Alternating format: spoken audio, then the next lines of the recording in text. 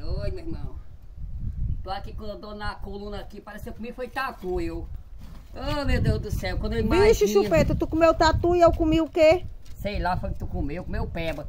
Quando eu imagino... Pior que foi, viu? Olha, quando eu imagino... Tatu lá- e peba não é a mesma coisa, não? É nada, tatu é um, peba é outro. Quando eu Tem imagino- certeza? Tenho certeza. Quando eu imagino que lá em Brasília tem 503 deputados federal, 81 senadores sentados na cadeira, no escritório, na sombra, água, sombra, comida, é, dinheiro, e eu aqui sofrendo aqui, carrando esse buraco aqui, ó. Carrando esse buraco pra ganhar o quê?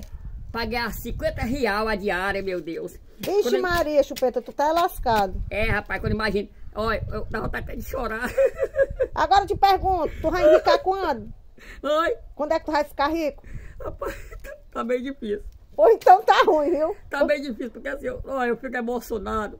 Porque assim, ó, lá em Brasília, 503 deputados federal, no escritório, com ar-condicionado, 81 senador, É ar-condicionado, ar-condicionado. ar-condicionado, oi- 81 senador, 503 deputados federal, sentado na cadeira de caneta, ganhando muito dinheiro, e eu aqui, carregando esse Mas buraco. aí que eu disse a tu que eu quero um dinheirinho, o que é que tu me diz?